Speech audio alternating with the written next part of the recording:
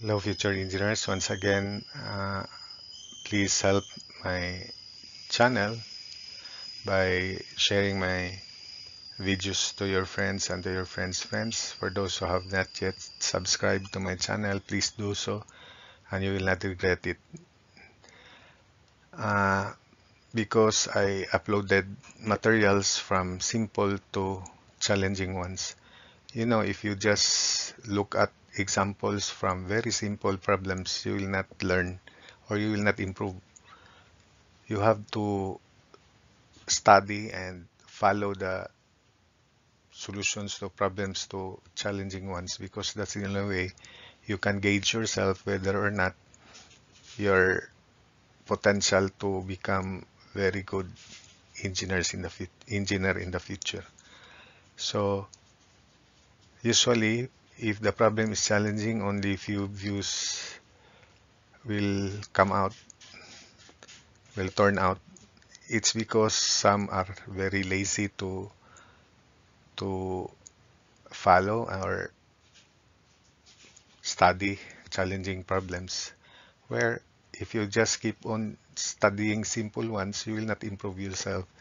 And there's a little chance for you to pass or to become an engineer. If you want to become an engineer, accept the challenge of studying uh, challenging ones because the challenging examples are rare in YouTube.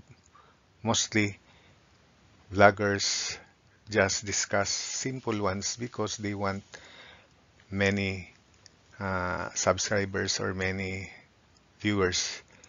Not in my case because I want the weak ones to to improve. And for for you to energize or inspire me please uh, share my videos to your friends friends. And for those who have not yet subscribed please do so. So thank you. So this is the next problem. This is my favorite method the conjugate beam method aside from the double integration and uh, and uh, Castigliano second theorem, not yet discussed. So let's prepare the conjugate beam first. So due to the load of 30, 30 times 3, so this is 90 over EI and 30 times 7, 210 over EI. Then due to 60 kilonewton load, we select D as our moment center, so it's just rectangular 60 above the beam. So due to the reaction here, because this is 60, then the moment due to the reaction here should be 150 only to make it 150 plus 60, 210. So triangular. So by similar triangles, this is 3 over 10 of 150 because the span is is 10, so 45 over EI. This is 6 over 10.6 of 150, 90 over EI. So let's apply the slope, positive slope at A, upward, then downward at D.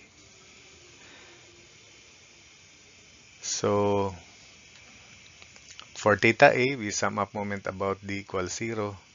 So that's upward, this is upward, then this is downward. The force here is downward.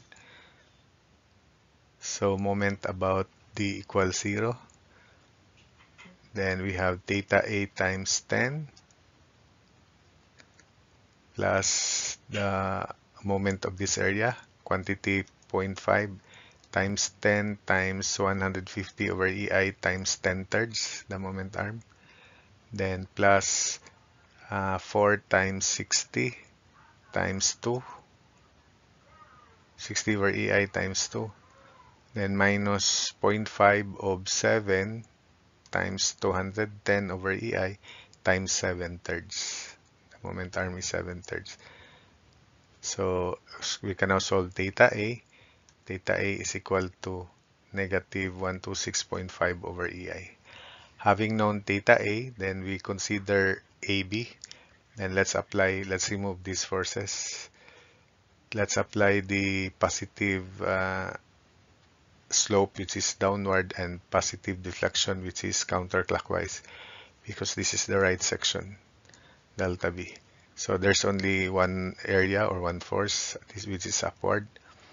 then that distance is 1 meter. So summation versus y to solve for theta b for portion AB equals 0. So theta A, negative 126.5 over EI plus 0.5 of 3 times 45 over EI, this area here, then minus theta B equals 0.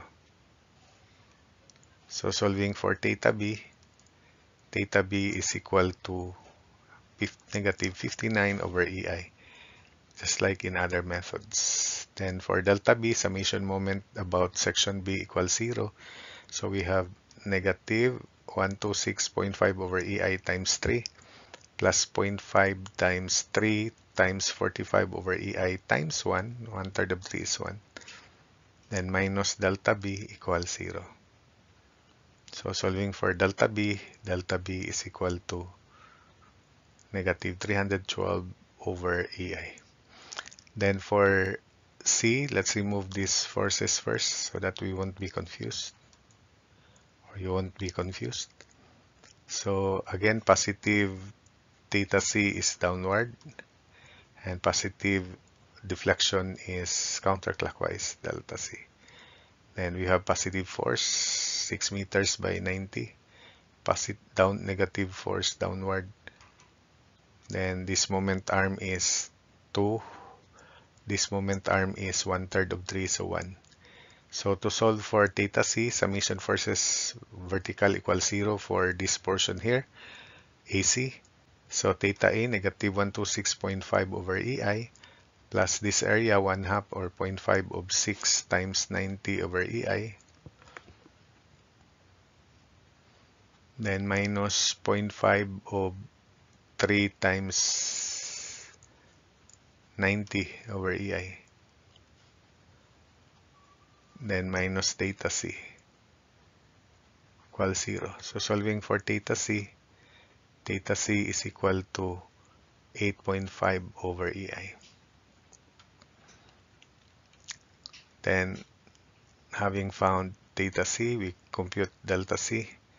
So summation moment about section C equals 0.